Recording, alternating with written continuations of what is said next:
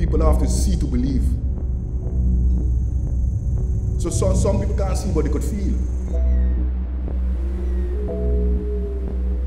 Because feeling is part of life.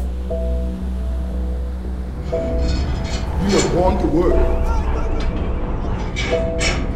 We only born to sing.